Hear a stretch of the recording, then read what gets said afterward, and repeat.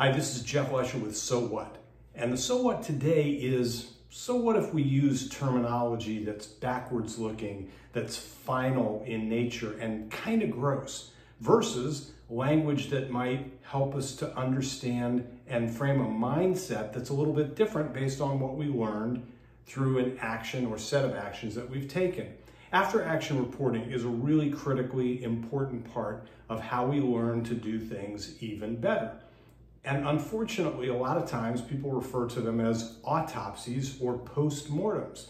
That's gross. And it's also focused on death, the end of something, the loss of something, versus how do you get even better, which is the mindset that we want to promote. So what? So if we used a different term following the same sensibility, what if we chose body scan? Uh, that's a process that's performed on a living person.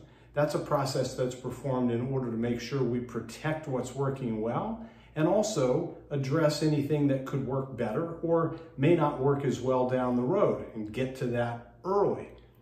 Body scan, it's about the now and the future versus what is literally dead and gone. So what? That is so what. Use language that reflects mindset and the process that makes you better.